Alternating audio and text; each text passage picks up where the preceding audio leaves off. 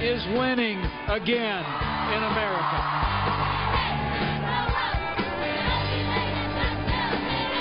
It is no coincidence that the first right cited in the Declaration of Independence is the right to life. This administration will work with the Congress to end taxpayer funding of abortion and abortion providers. And we will devote those resources to health care services for women across America. Well, thousands of abortion opponents from around the world descended on Washington, D.C. today for the March for Life, and they enjoyed unprecedented support from the new administration. Vice President Pence became the first vice president in American history to address the march in person, while counselor to the president, Kellyanne Conway, spoke as well. President Trump expresses his support, where else? On Twitter. We're joined today by one of the marchers. Abby Johnson was once director of a Planned Parenthood clinic in Bryan, Texas. After a moral crisis, she quit, and now she campaigns against what she once endorsed. Abby, thanks a lot for joining us. Thank you so much for having So me. I got to be honest with you, I never thought of President Trump as, you know, a huge pro-lifer, an evangelical, social conservative, and yet, amazingly, they've been more supportive of this march than any Republican president I'm aware of. I mean, there's been never been a vice president address one of these, Kellyanne Conway. I mean, it, are you surprised by this support? You know, I am a little surprised, but I'm feeling very hopeful for the future, for the pro-life movement. And I, I you know, I'm to be honest, I was a skeptic.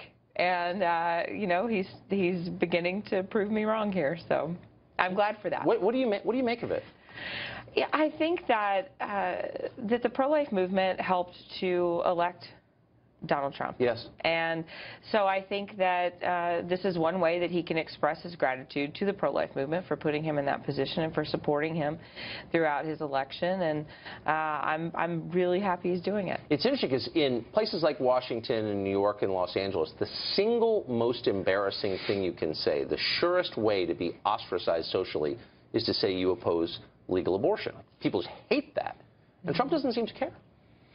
Well, he doesn't seem to care about most things. I guess that's a good point. So I think he just calls it like he sees it. And, uh, you know, as someone who experienced a, a conversion on the issue of abortion, I, uh, I believe that sometimes people who, who do convert to the pro-life movement really have a strong voice because they've seen the damage that the abortion Right. industry can do, and now they can really speak about the life issue. So President uh, Trump has pledged repeatedly on the campaign trail anyway to defund Planned Parenthood, which takes hundreds of millions of dollars from taxpayers every year. You worked at Planned Parenthood for a while.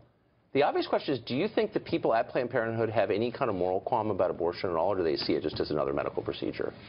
I think they see it just as another medical procedure, but I think that it is it is really the cost center surrounding Planned Parenthood and the services they provide. I mean, they that is their their highest revenue generating product that they sell. They implement abortion quotas in all of their clinics. What do you mean quotas? You have to perform a certain number of abortions every month. Um, one of the reasons that I left. Are they explicit about that? Yes, it's it's in your budget, right there on the line item. Uh, one of the reasons I left Planned Parenthood was because uh, in a budget meeting I was told to double that abortion quota. And for me, as someone who had spoken to the media and had said, you know, we're about reducing the number of abortions, we're about, you Right. know, prevention, all of these other services, I was shocked to So since this. you actually worked at a Planned Parenthood, give us some sense of the relative number of abortions versus the number of mammograms versus the amount of prenatal care offered. So, okay, abortions, Planned Parenthood provides over 330,000 abortions a year. They are the largest single abortion provider in our country. Um, they provide not one mammogram. Uh, there's not one Planned Parenthood clinic across the country that has a licensed mammogram machine. Huh. Or as a licensed mammogram facility, even though Cecile Richards and Joy Behar and many other people said that they do perform mammograms, they eventually had to come out and say that they don't. Planned Parenthood is not a provider of prenatal care. There are a few affiliates that may give out some prenatal vitamins. They might see you one time if you're pregnant, but there are no Planned Parenthood that's Planned Parenthoods that actually deliver children. Um, the bulk of their services are contraceptive services Yes. and abortion. Interesting. So that talk about being a healthcare provider, providing the whole spectrum of reproductive related healthcare services. It's really about contraception and abortion. Sure. Well, and listen to this. We just found out recently there are at least two Planned Parenthood abortion or Planned Parenthood facilities in the country. One in Madison, Wisconsin. One in Overland Park, Kansas. They are abortion providing only, five days a week, 40 hours a week. Abortion all day, every day. That's pretty hard to take. Abby, thanks a lot for joining us. Thank Appreciate you so it. much.